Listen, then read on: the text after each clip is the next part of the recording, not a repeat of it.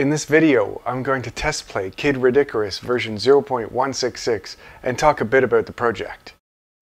Most of the Mario code is implemented. It's a little bit janky in places, but it works. It's enough so that he can transit between screens by going down the warp. Uh, he can uh, reveal hidden blocks, like the one at Mushroom. He can finish a level.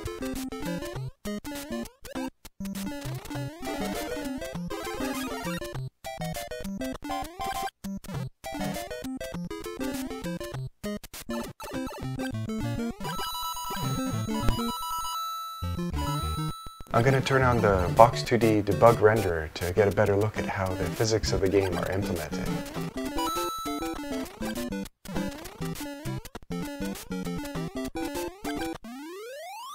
And Mario really likes that flag, so he doesn't want to get off. Looking quickly on the right of the screen, we can see the player detectors for the screen. Let's see what Mario can do. So he can kill some Metroid enemies. He can't jump as high as Samus. So he might have to go under some stuff. Or change to Samus. The transition from Mario to Samus is really plain right now. It can use some polish, but that's something for the future. I'll try to show that all of Samus's move characteristics are implemented except for things like the missile and the screw attack. When Samus is damaged, the sprite will blink at 60 frames per second, so it might not show up well on a YouTube video. Sorry about that.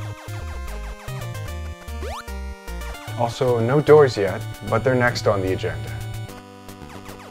To do the doors, I also need to do proper screen transitions. As you can see, the screen isn't the proper 256 by 240 pixel screen uh, that would be necessary because some of those rooms are only 256 pixels wide. Too much of the game world is shown.